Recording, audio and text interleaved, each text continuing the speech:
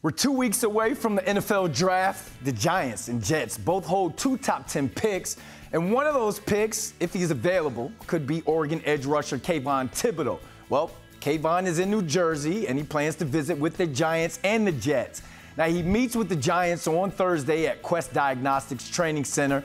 And first year GM Joe Schoen, who attended Oregon's Pro Day, will use the time to make a final evaluation on a player who scouts believe could be a day one difference maker on defense. Could he follow the footsteps of Michael Strahan, Osi Umenyiora, Justin Tuck, and JPP to be Big Blue's next great pass rusher? We'll have to wait and see. Well, on Friday, he'll be in Florham Park where he meets with Jets GM Joe Douglas and head coach Robert Saleh.